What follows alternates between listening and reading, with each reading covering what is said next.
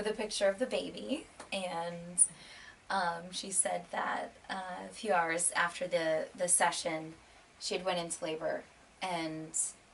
had the baby within 20 minutes of walking into the birthing room.